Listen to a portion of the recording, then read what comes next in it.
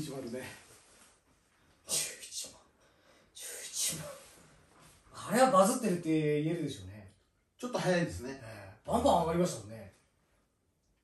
いやーオーナーとして鼻が高いですよ。で？でも車の外見じゃなくてあの運転動画だからなんかちょっとよくわかんないですよね本当ね。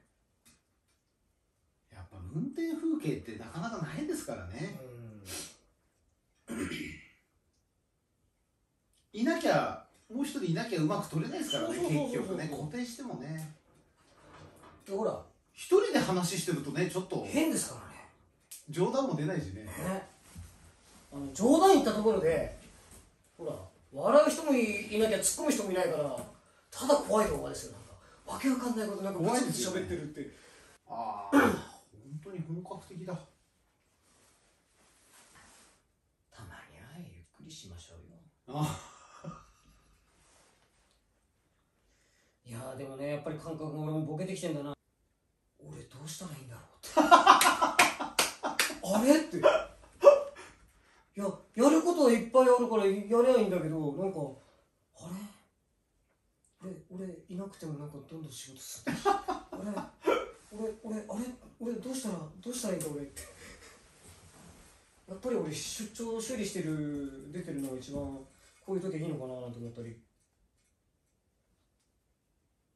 どん出かけた方がいいんじゃないですかでも、うん。えやっぱそれが営業ですもん。これで旅行ができるな。旅行でもいいと思いますよ。まあすぐになんつうんでしょう何かが劇的に変化するじゃないけど。そりゃないですからね、うん。でも変わってきますようん。スタイルが、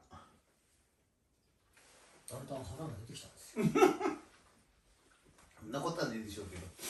パンツのゴムが見えないようにして。ああみたいな昔パンツだって下ズボンだって L だったのあ M だったのが L になって最近 L でもきつくて 2L になりましたからね。それはがでかくなったんじゃないですか？いやいやいやは腹がきてる。本当にこうやって整備するだけで全然変わりますね。ね。何回も同じこと言っちゃうけなん でもっと早くや最高。最高。本当にもっと早くやればよかったんですけどね。まあ環境を整えるってのはやっぱ確かに大事ですよ。うん。あのね自分のモチベーションにもつながるし。本当に今お客さん来られてもね、あのコミュニケーションも図れますからね、まあ寄ってきなよってななりますからね普通にね。コメント27件もついてる。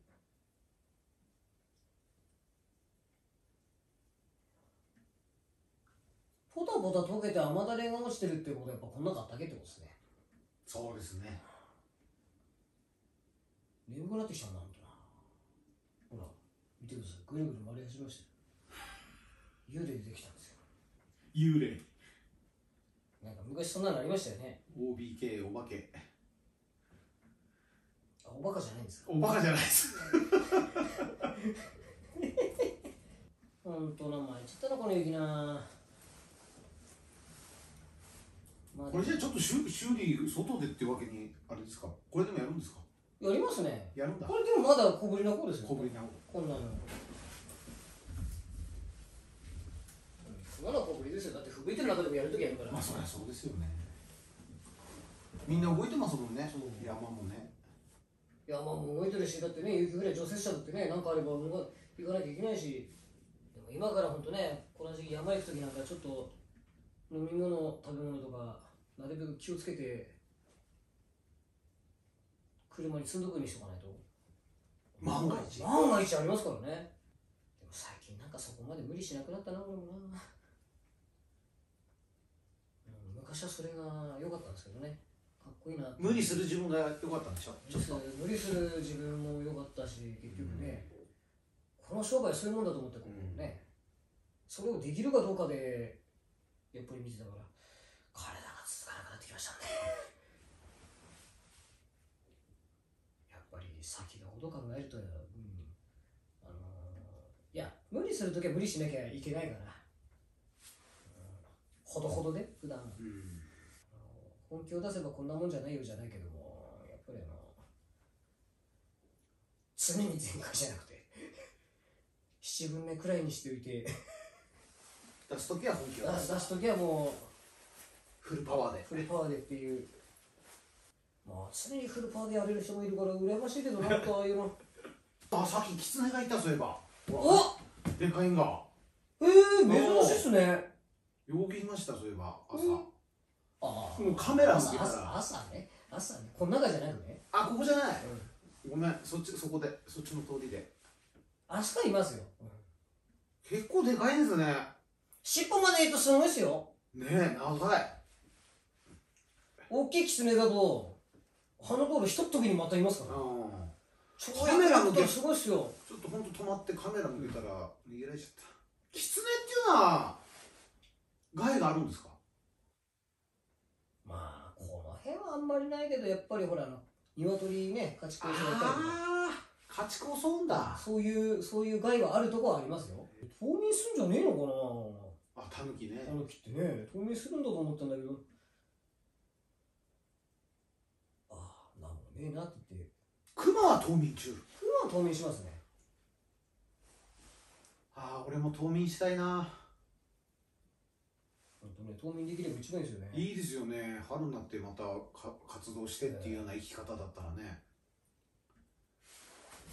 人間って年がら年中働かなくちゃいけないからね。めんどくさいですよね。何言ってるんですか。尊いですよ春夏秋冬があって冬って必要ないような気がするけど、クマとか冬眠するやつらだとか、あと植物とか、桜でも 何でも草でもそうだけど種には冬が必要なんだなって思うとなんで人間だけ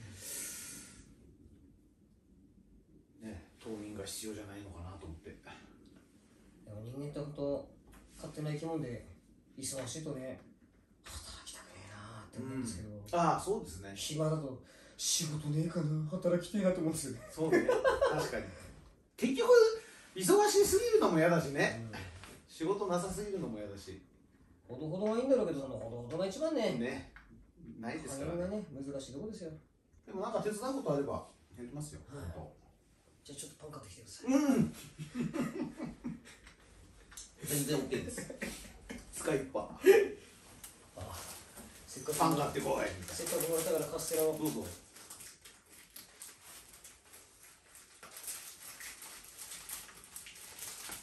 どじゃあ俺買ってきたよ。あるんですかあるある。あるあるあるよ。はいこれカステラだ。カステラだちぇあっちあっちあっちゃちゃちゃちゃちゃ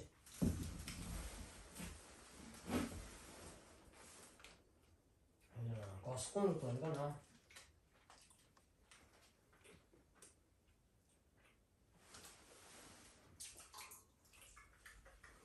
別にこんで水道でもあればもう最高にあれですよね。なうん何でもできる。ああ。そこの檻から。いいから。水いっぱいあるんですか？どうぞ。これからこれ人よ拾ってきますよいっぱい。ここだけはもうこうやって開けとけ開けとけば。人寄ってきたと仕事があるんですよ。玉の下通ってきた世代がほとんどいなくなっちゃいましたからね玉の下。またああいう人たちと一緒に仕事したいけど無理だもんなもう。玉の下って言ったら平成生まれの人なんかわかんないんじゃないかな。まあねでしょうね。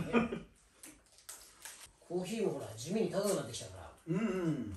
最近あのちょっとした手間手間だったら本当に部品も何も使わない。俺の手間だけのし仕事であの1時間もしないで終わるようなやつなんか石油出してって言われるんですけどめんどくさいから缶コーヒー一つでも買ってきてよとかね。お茶一箱持ってきてよとか昔こういうのって30円ぐらいで買えなかったでしたっけ？そんで一箱。そうそう。1000円ぐらいで。本当ね河内とかああい1000円うじゃ買えなかったドラッグストアとか行くとあの安いやつは1000円ぐらいでまだ売ってますよ。だから安いやつコストパフォーマンスはいいですけどあの万人受けするかって言ったらやっぱり出しても飲まない人は飲まないですからね。もうホーマーク寄って この前もツイッターでやったけど巻きワンパレ売ってるとかってああいう光景がもうなあんすごい面白いなと思って。面白いっていうかやっぱ文化の差だなとかって。だから薪販売やってる人たち大変ですねある意味。ん？薪の販売やってる人たちは。大変？どういうこと？だって例えば本幕行ったりまあ今いくらしてるかわかんないけども。1万8800円。1万8800円。まあ約2万ですよね。はい結局生産コストとかええ。そういうのも考えてしかもまあ大体本幕に巻き下ろしてる業者さんなんかはあのうん。自動で梱包までできるような機械でうん。やってるのがほとんどですけど網で巻いてますそうねこの辺の巻き屋さんっていうのはあの例えばその籠一つでいくらとか、まあ配達込みでじゃあケットラックじゃあいくらみたいな格好でやってるわけですけどそうするとそのワンパレ1万8000円うん。から1万9000にやっぱ対抗しなきゃいけないと。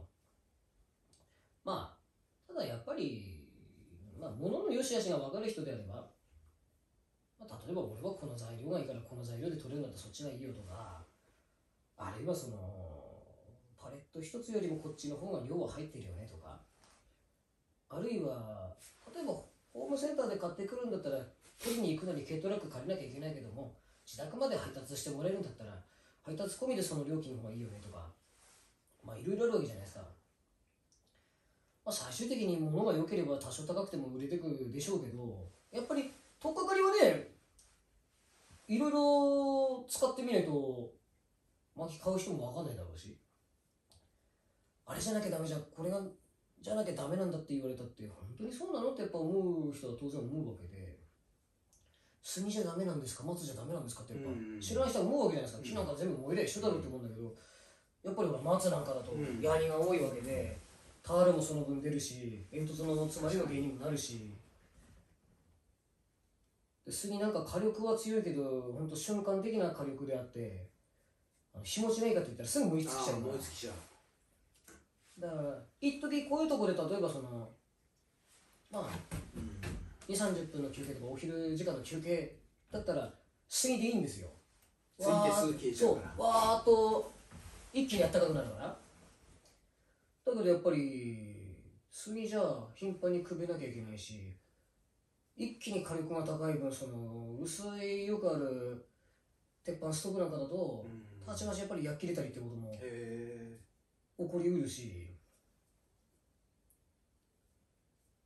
だから物によっちゃその信用値を高ないでくださいっていうストーブもやっぱあるわけで、ストーブもいっぱい売ってんのね。あ売れるんですか？ああいうストーブも売れちゃうんかい。売れるからあるのかな？センターで買う人もいると思いますよ。